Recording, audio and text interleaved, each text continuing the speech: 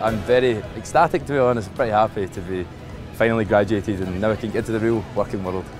it's a big sense of relief, um, just happiness and I just feel like really proud of myself. Yeah, it's been a long time coming but it's been great to spend the day with friends and family and just celebrate finally finishing uni. Earliest memory of Stirling uni was probably Freshers Week. I was really nervous to come to a new university and thought it's going to be harder to make friends but it's been amazing. I remember like walking around the walk as a kid. My best piece of advice is throw yourself head first into everything. Take part in sports, take part in every club you want to. Stirling's such a happy place, so even if you're away from home it doesn't feel like you are away from home, it's like a second home to everybody. It's amazing.